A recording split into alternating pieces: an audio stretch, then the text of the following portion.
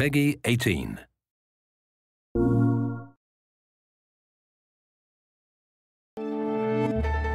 Detroit is Quantic Dream's latest project. It takes place in the near future in the city of Detroit and it features the character of Kara that we introduced in this short video uh, back in 2011.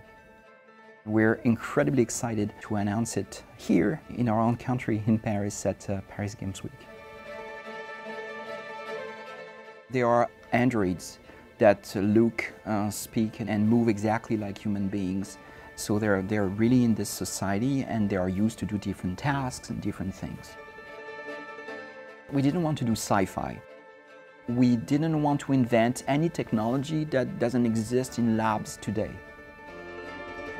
We wanted the world to look familiar to the player, so we really feel like, oh, I, I know this place, this is a real place, but at the same time be surprised at each corner.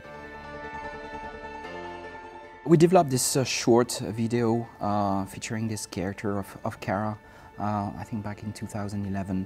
And um, it was a very, um, very exciting piece for us. It was a, a, very interesting journey working with Valorie Curry, this great actress. But it left me a little bit frustrated because I wanted to know what would happen to this character when she leaves the factory and what the world would be like and uh, what she would think of it. And this is how Detroit started.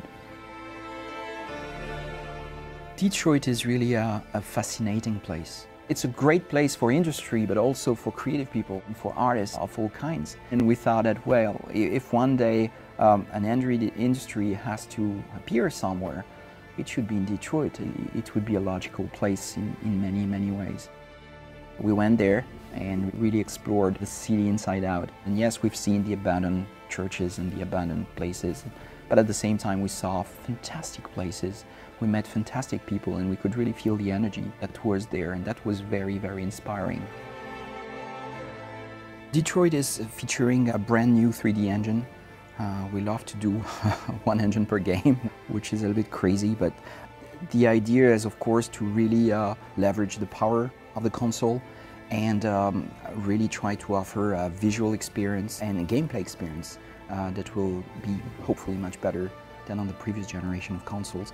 And we, we try to use the technology um, to uh, improve the graphics, but also to improve the emotion that the player will feel, having better facial animation, having better lighting, having larger environments with a lot of life and passes-by and things happening wherever you look around. I think there are some common points with what we've done in the past.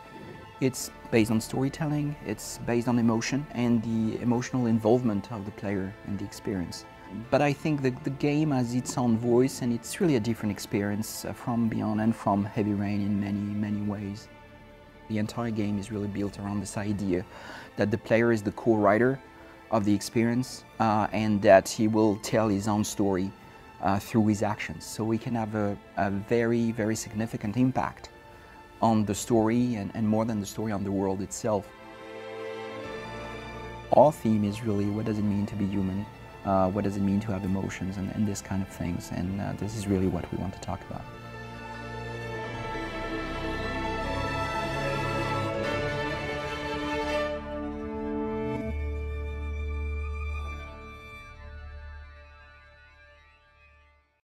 PS4 for the players.